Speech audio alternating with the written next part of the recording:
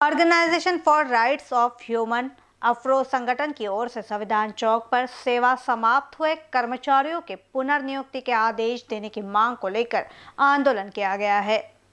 एकवीस बारा दोन हज़ार एकोणवीसचा महाराष्ट्र शासनाने एक जी आर काढलेला आहे, ज्या जी आरमुळे अनुसूचित जमातीचे जात प्रमाणपत्र ज्यांनी सादर करू शकले नाही किंवा त्यांचे फसवणुकीने स्कुटिनी समितीने त्यांचे जात प्रमाणपत्र अवैध ठरवले, अशा लोकांना या अशा लोकांना अशा कर्मचाऱ्यांना सरकारने सेवेतून काढले होते. परंतु या एकवीस बारा दोन हजार सतरा दोन हजार एकोणीसच्या या पत्रकानुसार त्या सेवा समाप्त कर्मचाऱ्यांना सेवेमध्ये पूर्ण पुन्हा घ्यायचं होतं. चार पॉईंट दोन हा एक मुद्दा त्यांच्यासाठी स्पेशल टाकण्यात आलेला होता.